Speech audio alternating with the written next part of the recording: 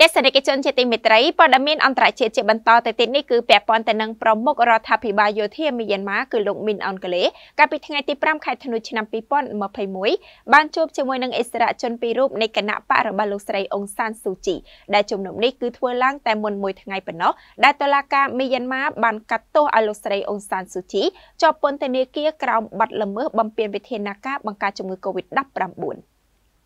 កាលពីថ្ងៃអាទិត្យចុងសប្តាហ៍កន្លងទៅនេះគឺមួយថ្ងៃមុនពេលលោកស្រីអង្សានស៊ូជីត្រូវបានតុលាការមីយ៉ាន់ម៉ាកាត់ទោសឲ្យជាប់ពន្ធនាគារក្រោមបទល្មើសបំពានវិធានការបង្ការជំងឺ Covid-19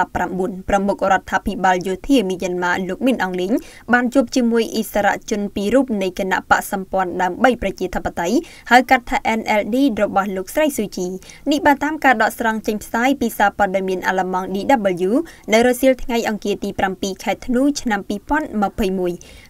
កាលពីថ្ងៃអាទិត្យទី5ខែធ្នូលោកមីនអងលេងបានជួបសំណេះសំណាលជាមួយមន្ត្រីជាន់ខ្ពស់ពីររូបនៃគណៈបក NLD គឺលោកធីនអូដែលជាអតីតប្រមុខយោធាមីយ៉ាន់ម៉ានិងជាស្ថាបនិកម្នាក់នៃគណៈបកនយោបាយនេះព្រមទាំងលោកឃីនីតដែលជាអតីតនាយករដ្ឋមន្ត្រីមីយ៉ាន់ម៉ាសមាជិកដទៃទៀតនៃគណៈបក NLD